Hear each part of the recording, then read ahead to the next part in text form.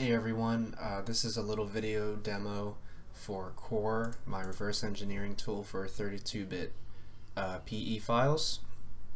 Uh, I'm going to try to keep this simple and short because the tool is just that, simple and short. So you open up Kore and you've got a nice GUI here uh, and just want to say the icon is credit to icons 8 uh, you can visit the site here. Um, doesn't seem to be coming up. Oh, here it is. Yeah, this is where I got the the uh, taskbar icon from. So what you can do is you can do a file open. We're going to be opening um, um, putty.exe, which is a 32-bit executable.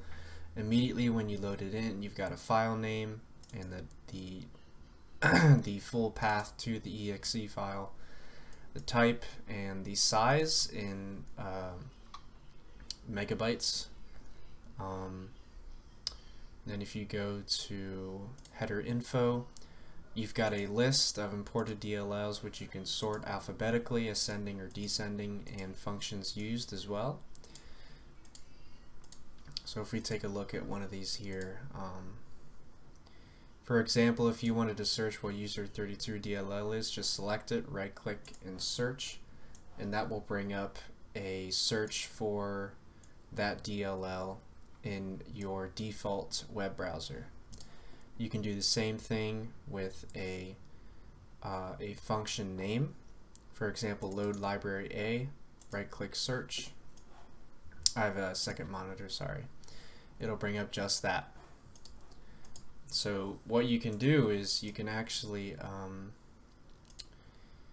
you can open another binary just the same. You can close it. It'll get rid of all that.